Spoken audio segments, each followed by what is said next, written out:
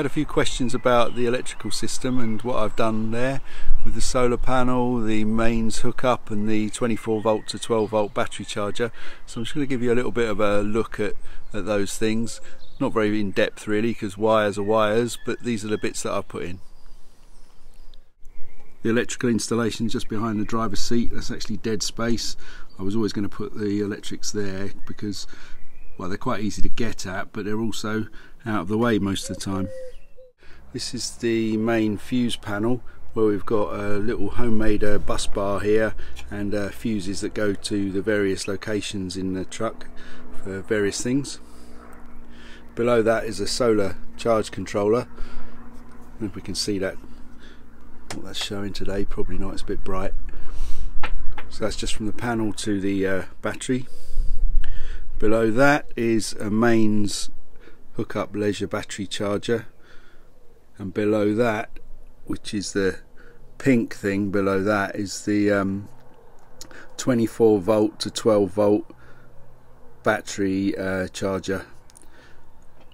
You need the 24 volt to 12 volt battery charger because the truck is uh, 24 volt. This side of the board is the mains hookup. That goes into a consumer unit and then a bit further up mains. In the middle 12 volt socket.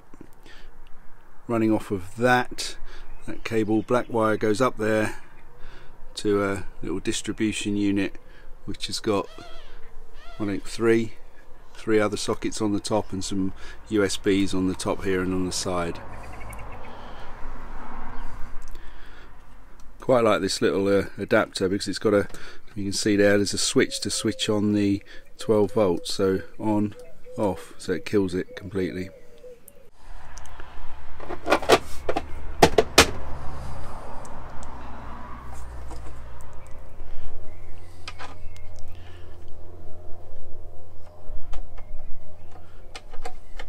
Little modification here with a few knobs on the front makes it easy to access this uh, fuse panel. Just pop the seat forward.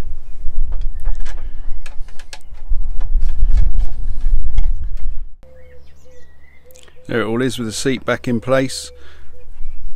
You can see what you need to see and the bits you don't. Hidden away. This waterproof box here's got a kill switch in it. I decided I'd put that in um, for my diesel heater. The kill switch really isn't necessary for the diesel heater but this is just to turn it off completely won't need it for six or eight months of the summer so may as well shut it off completely rather than have the little LCD running and uh, the potential for it to decide to switch itself on.